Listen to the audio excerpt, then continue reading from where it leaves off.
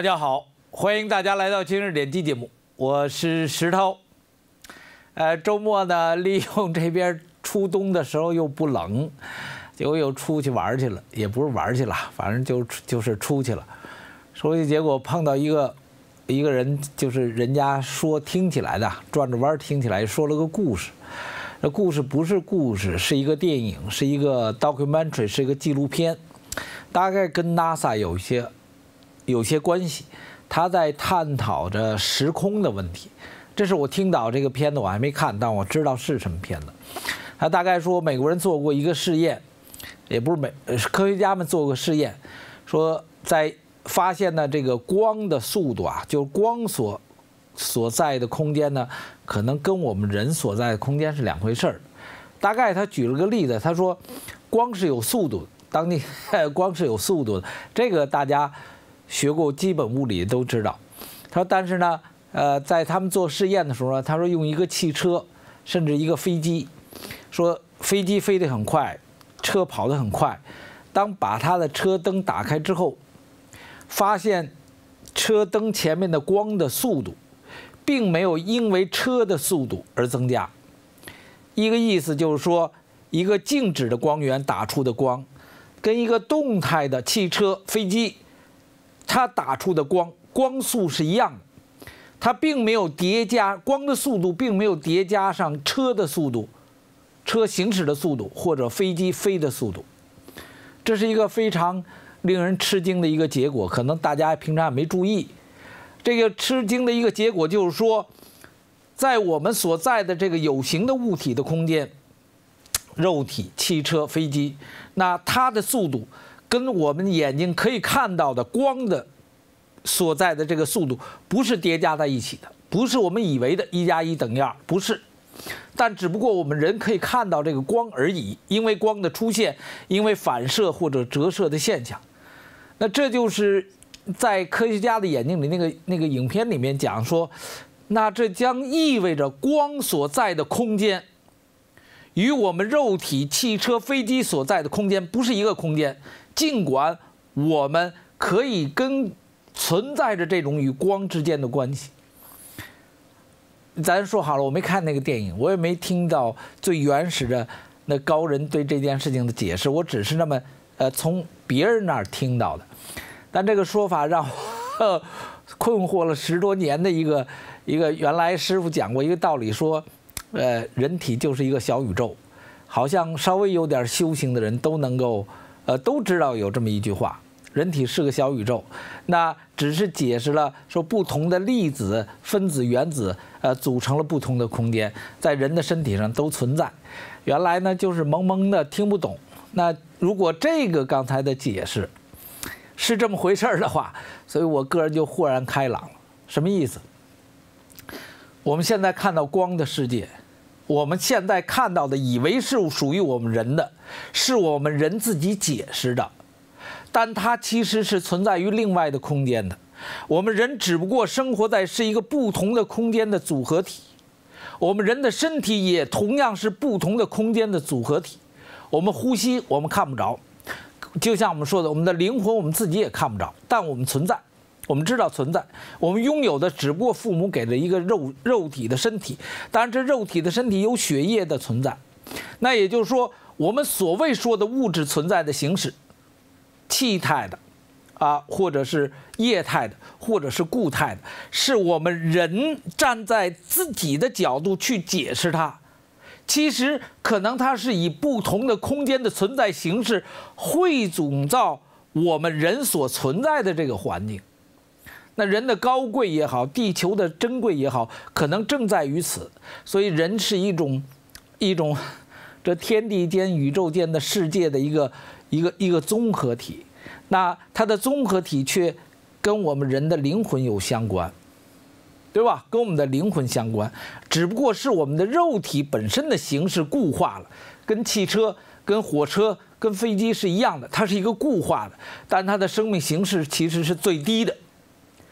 而我们的灵魂生命形式是高的，那我们人自己如果有灵魂有肉体，我们从了一个低的一个空间的形式与高级的空间形式，我们是融合在一体的一个人。恐怕人的珍贵就在于此啊。那时代就是变迁的，卡斯特罗死了，卡斯特罗是跟毛泽东、呃周恩来这一代人，金日成那一代人的。大家看《教父二》里面那里面闹革命那一段，古巴闹革命那一段，那就是卡斯特罗。所以他死了，代表在那一个时代当中的人基本全没了。那被人们能够记得的，可能还有一个基辛格。美国人、犹太人，有个基辛格，那算是那个代那一代时代的人，但是卡斯特罗是比较典型的，所以一个时代的结束，谁多么所谓伟大的人，他都是一股烟儿，吹过去什么都没有。那在现实的环境中呢，其实你就反过来看到中共本身的这种崩溃的场面。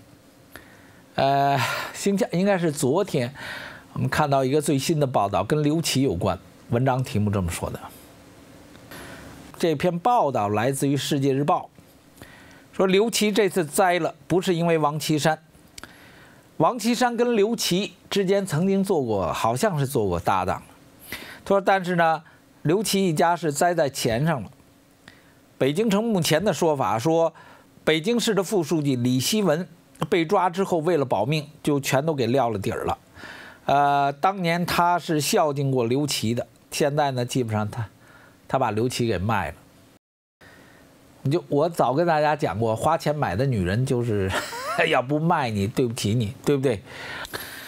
文章里这么讲了，说京城出现地震了，原来北京的大佬呢被抓了。那当初刘琦比较有本事，刘琦是老官了，在李鹏内阁时做过冶金部的部长。那朱镕基的时候，冶金部就被撤了。所以他本来是要到应该到国企当中任董事长，但是他比较会来事儿，所以他就跑到贾庆林。当时贾庆林任北京市市委书记，他贴着贾庆林上去的。那贾庆林呢是江泽民的傀儡，这是大家都明白的。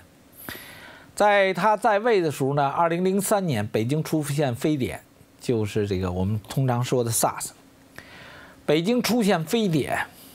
结果当时的孟学农被点了炮了，但刘琦却没事儿。孟学农是来自于这个胡锦涛的，所以刘琦的没事情的原因，是因为江泽民垂帘听政的结果。